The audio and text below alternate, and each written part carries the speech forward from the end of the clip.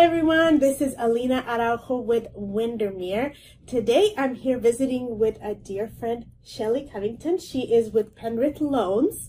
Um, she is a loan and mortgage advisor, um, my go-to uh, loan professional. And, um, you know, we wanted to talk to you guys today about what are three, this is going to be basic, but three pretty common uh, misconceptions that buyers have when they are in a process of purchasing a home. And so, Shelly, talk to us about, you know, give us the rundown of what are the three common ones. Okay, so I would say that three of the most common misconceptions are you need 20% down to buy a home. Okay. You need perfect credit. And another one is that people come to me and they think they need to have been on their job for at least two years. And I hear that a lot. Yes, yeah. that's very common. That's not the case. Even your college education can count as employment. That can give you your two year history, specifically if you graduated in a field that you're now working in. Mm-hmm. That's great. Like an engineer. An engineer, or even business, nursing, um, just a, a, whole host of uh, careers mm-hmm. can be counted as college time as work time. That's great. That's yeah. great. Um, we also hear one, I mean, I hear pretty often a mortgage insurance. Talk to us about that. Yes, the big bad mortgage insurance. we hear that a lot. I don't want mortgage insurance.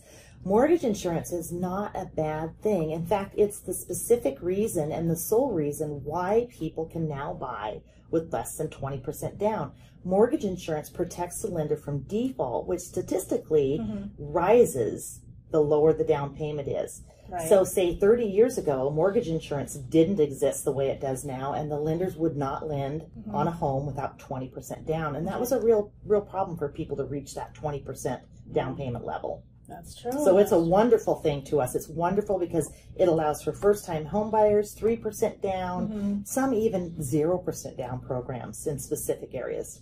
That's very good. Yeah. This is super great information. Um, is there anything else you hear pretty commonly uh, in your world of uh, financing? Um, well, I think that there's a whole host of things that we run across as far as things that people don't um, understand. We have a little list here that I made up. I was, yeah. I'm going to look at it real quick. I guess the biggest thing I would want to pass along is start your conversation with your realtor and your lender early. Because if you do run into any of these hiccups or maybe a little bit of a challenge, we can work through it before you find the house you love yeah. and then have to lose it because you aren't prepared to really make that offer. And that would be the biggest thing. Start early.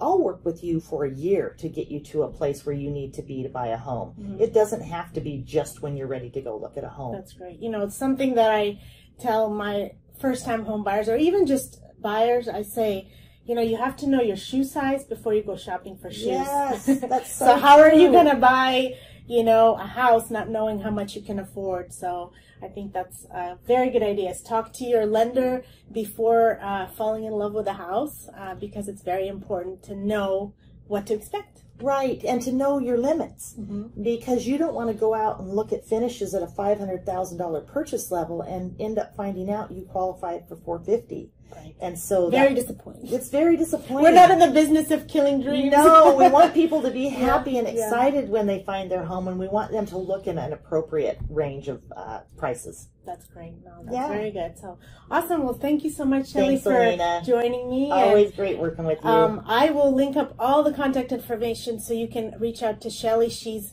uh, for me, she's always available uh, to get in touch. Um, you know, email, phone number. I mean, of course, if she's unavailable at the moment, she'll call you back as soon as she's done. So thank you so much for watching and see you next time. Thanks, Alina. Thank you.